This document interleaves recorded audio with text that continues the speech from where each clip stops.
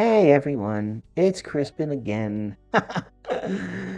Today I'm going to teach you how to pronounce WAP. Now some people pronounce it WAP. That's not that's not how it's pronounced. It's WAP. Now I could tell you what it means, but I'm not going to because I might get in a little bit of trouble with YouTube. Okay? So you'll have to look it up on Google or someplace else. And you'll find out. Be ready. Okay? Okay. Right. Let's get right into how to pronounce WAP. WAP.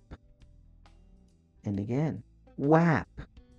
Okay. Now I'm going to repeat it two times and you say it back to me. Repeat after me. I'll leave you a little room to be able to do that out loud. Okay? Here we go. WAP. WAP. Very good. Thank you so much for working with me and watching our videos. Please like, subscribe, and comment. And uh, watch a few more videos because what else are you going to do? You know, they're so entertaining. Okay. Bye, everyone.